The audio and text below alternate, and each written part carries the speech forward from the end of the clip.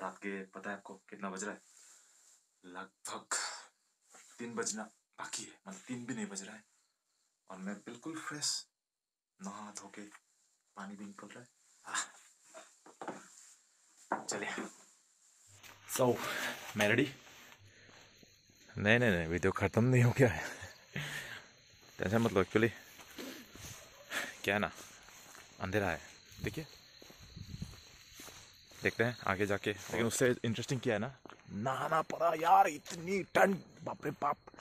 मैं थोड़ा सा एडजस्टमेंट हो चुका है क्योंकि मैं बहुत टाइम से हीटर के सामने खड़ा था।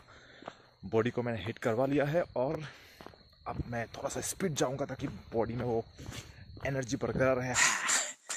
तो है उमरांगसो उमरांगसो उमरांगसो ना। बहुत सुन ले सुन लिया। और देखिए ये रात का रात का नज़ारा है उमरांगसो का। शांत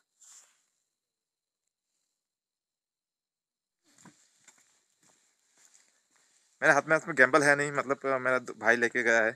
तो ये भी एक बिहारी फैमिली है एक्चुअली आज मैं सुबह सुबह ब्लॉग बनाने इसलिए आया हूँ कि aunty good morning good morning आप तैयार नहीं हुए? अभी जाते हैं तैयार होने। चलिए।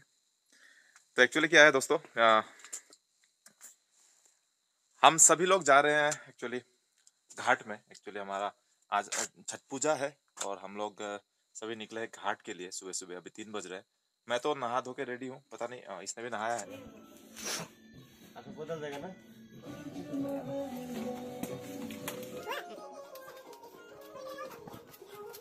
पहली बार ऐसा ब्लॉग बना रहे देखिए। छठ पूजा है। सबसे पहले सब सभी को उषा आर्द्र की बहुत बहुत शुभकामनाएँ। मैं इस बार टोकरी इसको मैं घाट तक लेके जाने का मेरा गिरेगा गिरेगा गिरेगा गिरेगा गिरेगा। हाँ तो मैं मैं घाट तक लेके जाऊँगा। सो गाइस मैं ज़्यादा घूम फिर नहीं सकता। तो अ, मेरा भाई साथ में है विश्वजीत इन्फिनिट रैपर और ये रैपर है लेकिन आज उसका काम नहीं है भजन कीर्तन नहीं कर सकता है। और ये सामने दुर्गा मंदिर मंडप उमरांसू के जय दुर्गा माता के। जय! तो हम लोग दुर्गा माता के सामने से गंगा मैया के सामने जा रहे हैं। फिफ्टी परसेंट हम लोग आ चुके हैं। और देखिए, ये जो मैं टोकरी लेकर आ रहा हूँ ना, इसमें बहुत सारी चीज़ें हैं। प्रसाद है इसमें वेजिटेबल्स है जो जो एक्चुअली प्रसाद के तौर पे ही माना जाता है। लौकी का बहुत महत्व है इस छठ पूजा में। और जो फल फ्रूट है, उसमें भी, उसका भी बहुत महत्व है। लेकिन ये थोड़ा सा अलग है, क्योंकि जो बाकी जो हिंदू कम्युनिटी के लोग हैं ना, वहाँ पे प्रसाद जो होते हैं ना, खास करके प्रसाद, ये प्रसाद में खास करके फल ही होते हैं। आप आपने देखा होगा या फल होते हैं या फिर मिठाइयाँ होते हैं ना? लेकिन ये जो बिहारी परंपरा में ना, यह सब्ज़ियाँ जो है ना, लौकी है, बैंगन है, या फिर आप कद्दू कह लो तो इसका इसका भी महत्व है, मूली का महत्व है। यहाँ पे छठ पूजा में इसको भी चढ़ावे के तौर पे चढ़ाया जाता है। ये तीन बजे नहाने का कोई ऐसा मैं जनरल इन जनरल मैं नहाता नहीं हूँ कोई भी नहीं नहाता है। लेकिन आज नहाना पड़ा क्योंकि मुझे ये कैरी करना था जो कि बिहारी लोग बहुत ही बहुत ही सीरियसली लेते हैं। और छठ पूजा एक ऐसी पूजा है ना इसमें आप गलती नहीं कर सकते हो।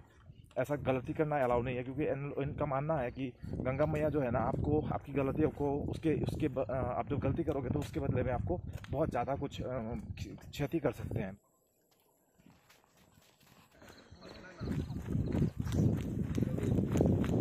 फाइनली हम लोग घाट पहुँच चुके हैं। और यहाँ अब तक ज़्यादा लोग नहीं आए हैं। मुझे जैसा लग रहा है यहाँ से देख के। कोई बात नहीं पहले टोकरी को यहाँ पे रखते हैं। फिर आपसे बात करते हैं आपको बताते हैं छठ पूजा एक्चुअली में क्यों मनाया जाता है और इसका जो इसको मनाने का जो जो भी रीति रिवाज है ना उसको बहुत स्ट्रिक्टली और बहुत ही पवित्रता के साथ क्यों मनाया जाता है ना? ये, ये सारी चीज़ों का जवाब इसी वीडियो में आपको दिया जाएगा। मैं दूँगा यार।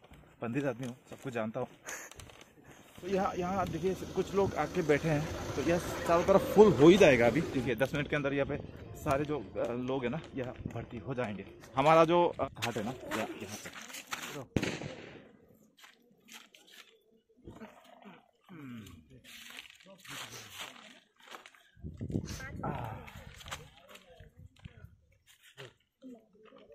ये लेके आना मेरा काम था यहाँ तक। बाकी काम आंटी करेगी और इनके फैमिली मेंबर्स हैं। सारे लोग मिल के बाकी जो रिवाज है ना, इसको यहाँ पे पूरा करेंगे। यहाँ पे पूरा जो घाट है ना, वो पूरा फुल होने वाला है। अभी, अब दस मिनट के अंदर देखिएगा। यहाँ पे अभी फ़िलहाल तो कोई नहीं है, लेकिन दस मिनट में आपको यहाँ पे सारे लोग भरे हुए मिलेंगे। तो दोस्तों, यहाँ पे ये घाट है। मेरे पीछे देख सकते हो, बहुत सारे लोग ऑलरेडी यहाँ पे यहाँ पे आके मौजूद है। सुबह का टाइम है, बहुत मज़ा, बहुत मज़ा का नज़ारा दिखाई दे रहा है। मेरे साथ बहुत सारे बिहारी दोस्त।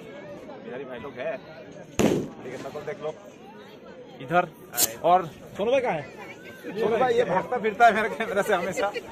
सोनू भाई है मेरे साथ जो है, बहुत अच्छे दोस्त भी है। तो जो छठ पूजा के बारे में मैं इनके सामने बातें बोलूँगा। छठ पूजा चार दिन का एक उत्सव होता है। चार दिन इसको मनाया जाता है, जैसे कि यहाँ पे मैं बोलूँ तो यहाँ पे सबसे पहले जो होता है आपका पहला दिन क्या नाम बोलते हैं आप लोग? पहले दिन नहाई खाई हाँ। सेकंड हाँ खन खन्ना? हाँ खन्ना। फिर है संध्या आरती और फिर आज के दिन? मॉर्निंग मॉर्निंग मॉर्निंग आरग नहीं बोलते हैं हिंदी में इसको। उषार्थ उषार्थ आ, उषा अर्घ तो आज जो है उषा अर्घ अंतिम दिन है इस कार्तिक महीने के छठ पूजा है उसमें उसके अंतिम दिन और कुछ दिन कुछ देर में ही ये जो पर्व है ना ये खत्म होने को है। तो हम लोग वहाँ चलेंगे और आपको दिखा दिखाएँगे कि ऐसा जो ये जो रीति रिवाज है ना वो किस तरह से चल रहा है।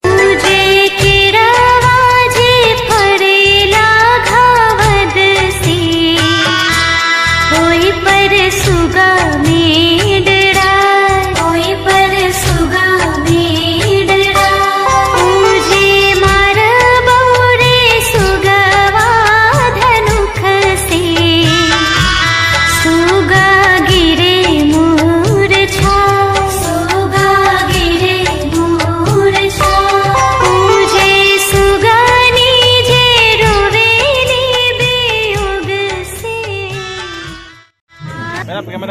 पागल हो गया है। गया मेरा माइक।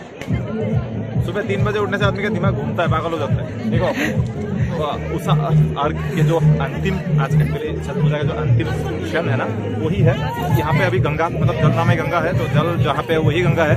तो उसको अभी उन्होंने डुबकी लगाया है और उसके बाद जो सारे जो माताएँ हैं, बहनें हैं है, जो भी है लोगों का ये पर्व यहाँ पे खत्म होता है। तो छठ पूजा लगभग लगभग यहीं पे खत्म ही हो जाता है। बट यहाँ पे अभी कुछ बरसाती वगैरह है जो मैंने बोला था तो जो कैरी करके लाया था तो उसी का देख रहे हो तो यहाँ पे अभी कुछ इनका कपड़ा धोने का कुछ छोटे मोटे रिवाज बाकी है। उसके बाद जो है छठ पूजा इस साल के लिए लगभग खत्म हो जाएगा। तो आप आप आप एंजॉय कीजिए ये सिनेमेटिक फुटेज जो मेरा भाई लेगा अभी। होप करते हैं कुछ अच्छा फुटेज लेगा ये। वरना बेवकूफ़ तो है ही आप लोग।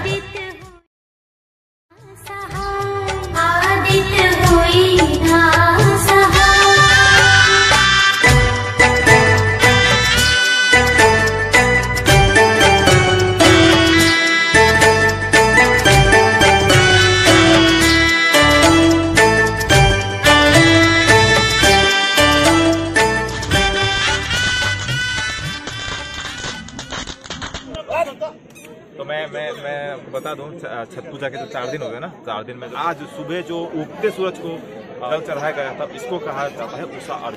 आज जो अंतिम दिन था, और हमने यहाँ पे सबने मिलकर ये देखा। तो बहुत मज़ा आया कुल मिला के, बहुत मज़ेदार एक ब्लॉग मुझे लगा, ये बहुत इंटरेस्टिंग था, रहा मेरे लिए। तो आप लोग इस ब्लॉग को आप लोग देख, अब तक जिसने देखा उसके लिए बहुत बहुत धन्यवाद, और जिन्होंने नहीं देखा, वो देख ले और सब्सक्राइब कर ले हमारे चैनल एक्सेल ड्रीम्स को। थैंक यू सो मच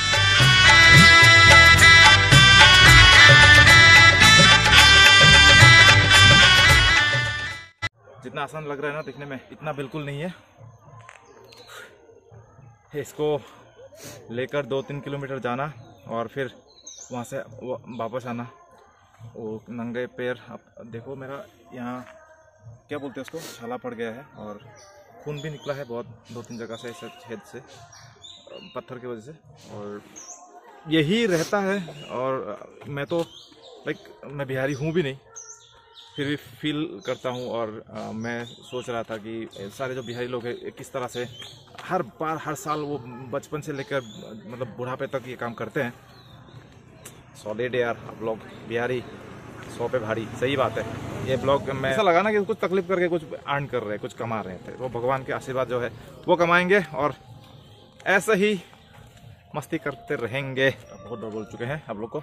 सुना तो सुनिए नहीं सुना है तो तब भी सुनिए। सब्सक्राइब कीजिए